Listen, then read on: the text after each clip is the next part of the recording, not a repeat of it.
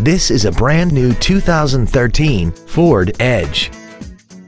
This crossover has an automatic transmission and a 3.5-liter V6. Its top features include traction control and stability control systems, XM satellite radio, big 18-inch wheels, and a tire pressure monitoring system. The following features are also included. A power driver seat, air conditioning with automatic climate control, cruise control, a six-speaker audio system, leather and alloy steering wheel trim, a four-wheel independent suspension, a passenger side vanity mirror, dusk sensing headlights, a split folding rear seat, and a rear spoiler. We invite you to contact us today to learn more about this vehicle.